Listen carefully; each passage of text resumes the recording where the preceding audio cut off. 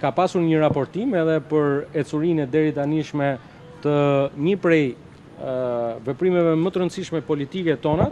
qoftë si Parti Socialiste, qoftë si grup parlamentar, por dhe so, qoftë si qeveri, atë të bashkëqeverisjes me njerëzit, e dua t'ju them që uh, kryesia e Partisë Socialiste uh,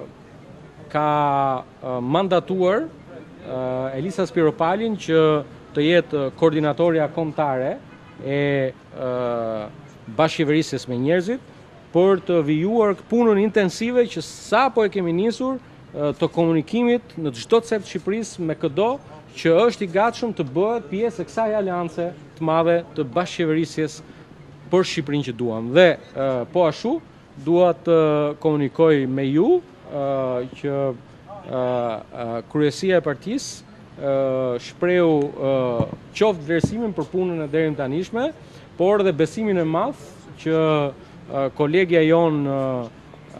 Blerina Gjylameti të drejtojë Partinë Socialiste të Tiranës prej këtej e në vijim. Faleminderit.